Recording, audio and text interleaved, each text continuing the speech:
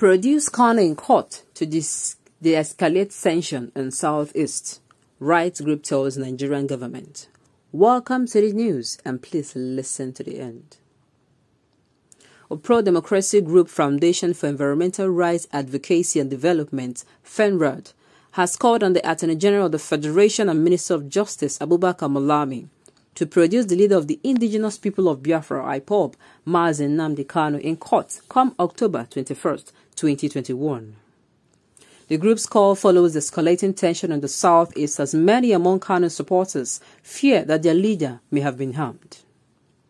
It will be recalled that Justice Binta has fixed October 21, 2021 for the continuation of a preliminary hearing in the treasonable felony charges preferred against Nnamdi Kanu by the federal government following the failure of the Department of State Services DSS to produce the secessionist leader before the courts on 26th day of July 2021.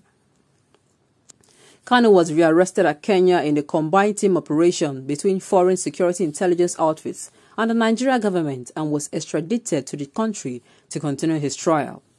After he fled Nigeria following the military attack, during the operation codenamed Python Dance on his hometown at Afaraukwu Ibeku, Umuahia, while still answering to allegations preferred against him.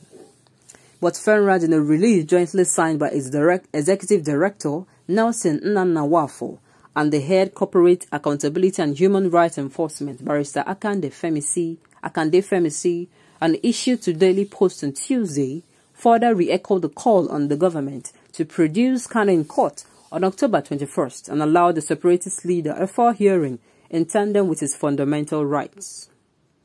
The Rise Group regretted that the federal government's approach towards the treason case against the IPOB leader has not been helpful and also regretted that the inability to produce the later in court by President Muhammad Buhari-led federal government has escalated the tension and created economic problems in the southeast region.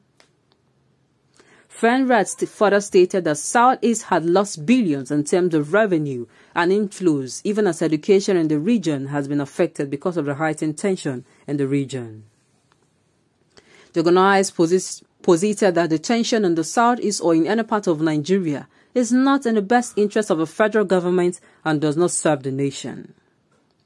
The Rise Group further used the medium to reiterate her condemnation on the emergency proclamation by the federal government through the Attorney General of the Federation, Abubakar Malami, over the security challenge in Anambra State.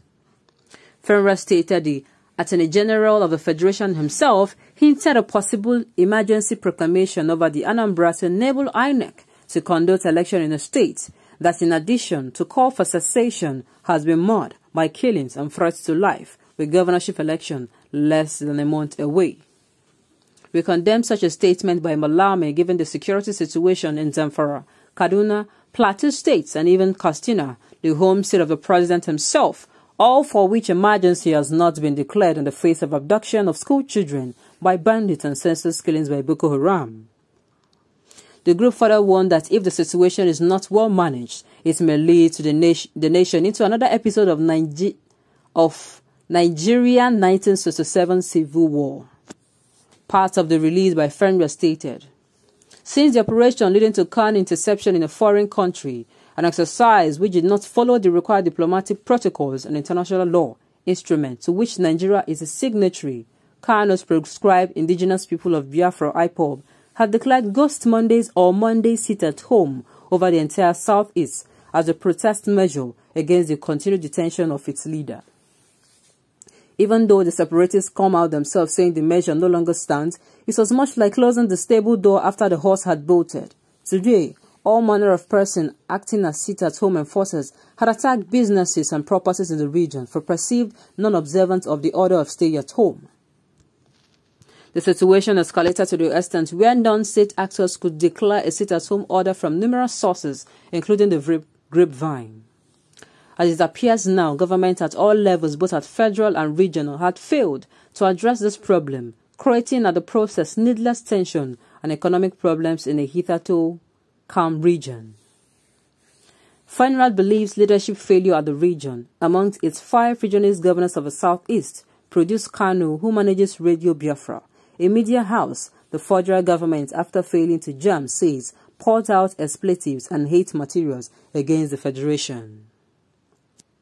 The, detention of Kanu has not served a win-win for the region or the government, and so, if this situation continues, the tension in the region will escalate the more.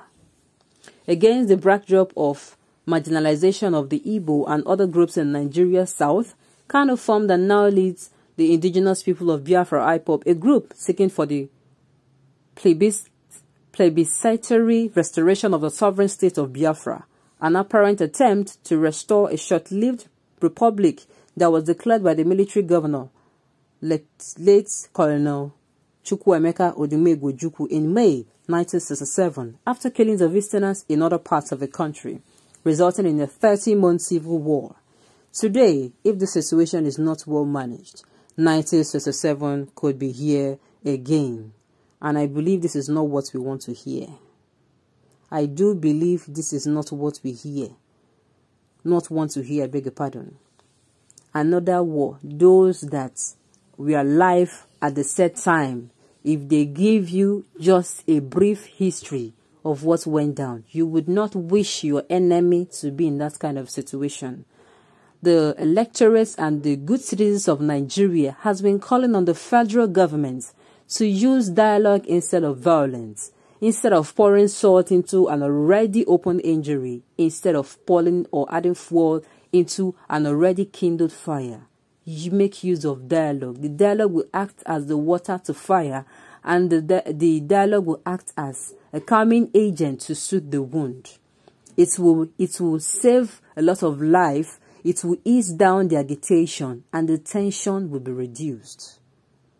I do not know why the government do not want to employ this particular means. At least give it a try. Okay, fine, fair enough. In 2017, information getting to us was that even in 2017, Kanu, the indigenous people of Biafra, Mazinam Kanu, their leader, was in a dialogue with the federal government when all of a sudden the dialogue was just cut off.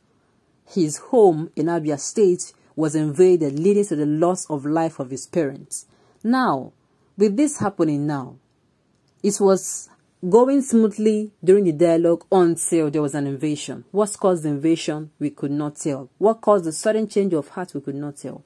Now, they can still, the government can still go back to make use of this dialogue, call these people together, allow their leader to have a fair trial. Okay, he is in your detention and you're still preventing him you are the one that charged him to court or filed a case against him, against him in court, and still yet you are not allowing him to defend himself in court. I mean, that is infringing on his fundamental human rights, and which the people in these regions are agitating against. These are the things they are not agitating against any human person. They are agitating against bad governance, injustice, unfairness, inequity, the, la the lack of tranquility all in the land, the lack of equal allocation of funds, allocation of resources and appointments. All these things put together are what these people are agitating against. And of course, we are still we are still saying, and the people of Nigeria are still saying, that dialogue it remains the more rational